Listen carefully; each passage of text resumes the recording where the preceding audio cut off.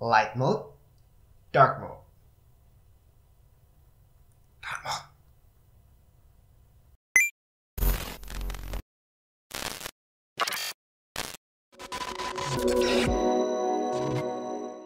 Sebelum upgrade Windows 11, pastiin Windows 10 kamu udah original. Kalau belum, mampir ke cdkisales.com. Klik link yang ada di deskripsi, terus ikuti aja petunjuk pembeliannya. Selama bulan November ini, kamu bisa dapat tambahan diskon 35% dengan masukin kode TNT.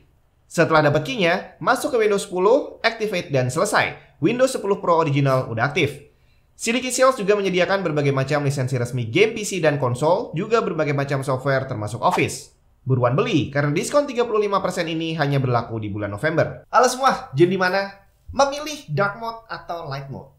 Biasanya orang milih antara dua tadi itu hanya sebatas karena selera.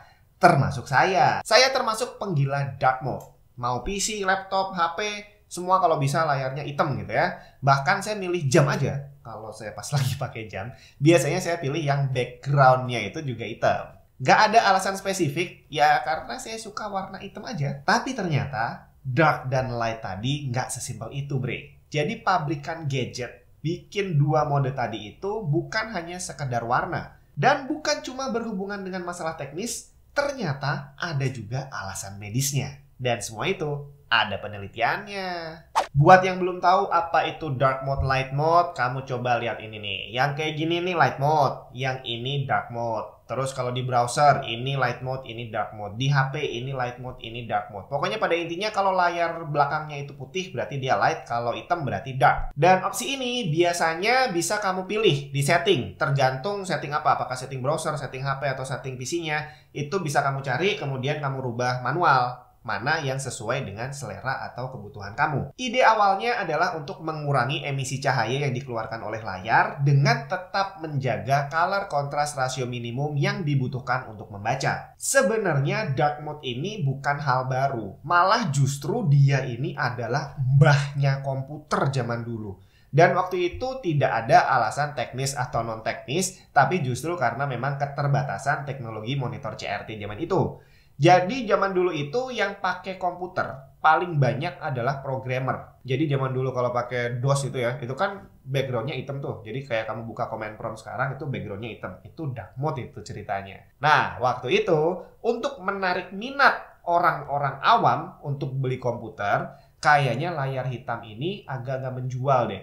Agak-agak kelam gitu ya Akhirnya dibuatlah layar dengan background putih. Hal ini diumpamakan seperti kertas. Jadi di saat orang lihat layar monitor, dia ngelihat tulisan hitam di atas layar putih. Hampir sama seperti saat kita membaca tulisan di atas kertas. Harapannya agar orang-orang awam semakin tertarik untuk membeli komputer. Alasan teknis di balik dark mode atau light mode ini sebenarnya masih diperdebatkan. Salah satunya adalah tentang daya tahan baterai. Katanya kalau kita mengaktifkan dark mode maka harusnya smartphone kita baterainya akan lebih awet. Karena secara logika HP-nya akan memancarkan cahaya yang lebih sedikit. Tapi apa benar seperti itu? Beberapa waktu lalu Purdue University menulis laporan tentang penelitian soal hal ini tadi. Apakah ada hubungannya dark mode dengan daya tahan baterai? Mereka melakukan uji coba dengan beberapa smartphone yang diuji dengan light mode dan dark mode pastinya. Dan akhirnya ditemukan hasil bahwa dark mode bisa membuat baterai lebih tahan lama tapi hanya dalam kondisi tertentu doang. Pada penggunaan indoor, biasanya smartphone kita akan secara otomatis mengatur brightness HP kita di angka 30-40%. Nah, dalam kondisi ini, kalau kita mengaktifkan dark mode, maka HP kita akan menghemat daya baterai sekitar 3-9%. Angka ini pastinya akan berbeda untuk setiap tipe smartphone. Tapi dengan angka yang range-nya cuma segitu, kemungkinan besar kita nggak akan terlalu bisa membedakan apakah benar-benar lebih awet atau enggak. Sedangkan untuk penggunaan outdoor, biasanya smartphone kita akan secara otomatis mengatur brightness menjadi 100%. Dalam kondisi ini, kalau kita mengaktifkan dark mode, ternyata daya tahan baterai bisa bertambah 39 sampai 47%. Lumayan banget kan? Tapi satu hal yang perlu kamu tahu, bahwa hasil penelitian tadi hanya berlaku untuk smartphone yang sudah menggunakan OLED. Buat yang belum pakai OLED, maka penggunaan dark mode tidak akan terlalu berpengaruh terhadap daya tahan baterai. Beralih ke alasan medis. Ternyata para saintis juga melakukan penelitian tentang efek dark mode terhadap kesehatan, terutama kesehatan mata. Kita bahas sedikit tentang mata. Di mata kita ini ada satu organ yang namanya adalah pupil. Pupil ini sangat sensitif terhadap cahaya. Dengan bertambahnya usia, ukuran pupil di mata kita ini akan semakin mengecil. Dampaknya adalah cahaya yang bisa ditangkap oleh mata akan semakin berkurang. Hasilnya, kemampuan kita untuk membaca dalam kondisi kurang cahaya semakin lama juga akan semakin berkurang. Tapi, semakin tua usia kita, ternyata mata kita juga semakin sensitif terhadap intensitas cahaya yang tinggi. Jadi gampang silau gitu ceritanya. Dan ini akan bertambah parah jika kondisinya terang. Sebelum berlanjut ke penjelasan berikutnya, kita seragamkan dulu istilah-istilah yang akan saya sebutkan nanti, biar nggak bingung gitu ya. Yang pertama adalah visual acuity. Visual acuity ini adalah kemampuan mata kita untuk melihat detail sesuatu dalam jarak tertentu. Contohnya waktu kamu tes baca huruf kalau di toko-toko kacamata atau di dokter mata gitu ya kan ada tuh baca huruf besar sampai kecil. Nah, itu adalah tes visual acuity. Kemudian ada istilah contrast polarity. Light mode itu adalah positif contrast polarity, sedangkan dark mode adalah negatif contrast polarity. Mungkin buat yang pernah utak-atik HP pernah tahu ada satu opsi namanya inverse polarity. Jadi tadinya warnanya putih, kalau di inverse akan jadi hitam. Nah, kurang lebih seperti itu. Cosima Pippenbrock dan teman-temannya dari Institute for Experimental Psychology di Düsseldorf, Jerman, melakukan pengujian terhadap dua kelompok orang dewasa. Yang pertama adalah kelompok usia 18-33 tahun, yang kedua adalah usia 60-85 tahun. Di kedua kelompok ini ada dua jenis orang, ada yang matanya sehat, ada juga yang harus pakai kacamata. Mereka menjalani visual acuity test termasuk di dalamnya dengan menggunakan Landolt C Optotype apa itu? Kamu baca sendiri aja, link ada di deskripsi. Kemudian mereka juga harus menjalani tes proofreading, yaitu membaca dengan kondisi kontras polarity yang berbeda. Tadi positif negatif itu. Hasilnya light mode ternyata terbukti memang lebih bagus untuk visual acuity dan juga proofreading. Tapi perbedaan dark mode dan light mode ini tadi ternyata dampaknya paling besar ditemukan untuk kelompok orang dengan usia 18 sampai 33 tahun.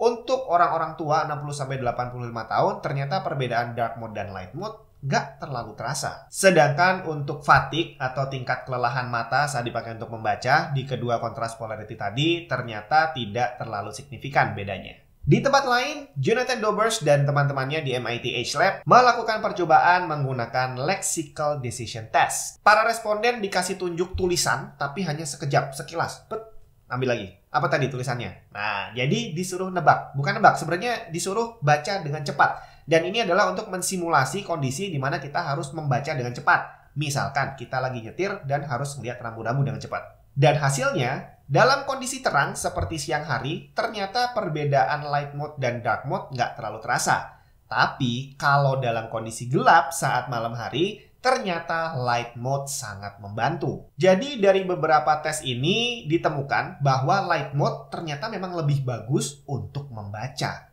Tapi bagaimana dengan kesehatan mata? Sebuah studi yang dipublish di Naruto Research Scientific Reports di tahun 2018 menyebutkan bahwa exposure jangka panjang terhadap light mode bisa memicu terjadinya miopia atau rabun jauh. Ini adalah suatu kondisi di mana kita bisa melihat objek dari jarak dekat dengan jelas, tapi objek yang jaraknya jauh akan terlihat nggak jelas atau biasa kita sebut dengan mata minus. Andrea Elman dan teman-temannya di University of Tübingen, Jerman, melakukan percobaan membaca pada kondisi kontras polarity yang berbeda. Jadi koroid ini adalah satu bagian di mata kita yang bisa memicu terjadinya miopia tadi. Dan dilihat efeknya terhadap light mode sama dark mode itu seperti apa. Hasil yang didapat adalah setelah membaca dalam kondisi light mode, ternyata kondisi koroidnya itu menipis dengan sangat signifikan. Berbeda dengan saat membaca dalam kondisi dark mode, koroidnya masih dalam kondisi tebal. Artinya, light mode di sini bisa memicu terjadinya miopia. Dan hal ini semakin parah apabila orangnya ini tadi udah punya miopia sebelumnya. Dan akhirnya mereka menyimpulkan bahwa light mode memang lebih bagus untuk membaca. Tapi kalau kita terekspos dalam jangka panjang dengan light mode ini tadi bisa memicu terjadinya rambut jauh. Jadi ternyata omongan orang tua kita yang ngingetin jangan kebanyakan nonton TV, jangan lihat HP terus, matanya bisa rusak. Ternyata beralasan dan sudah ada penelitiannya. Untungnya ada dark mode. Jadi besok lagi kalau nyokap kamu bilang, eh jangan main game terus-terusan, matanya bisa rusak. Tenang mam, ada dark mode. Sampai ketemu di video yang lain.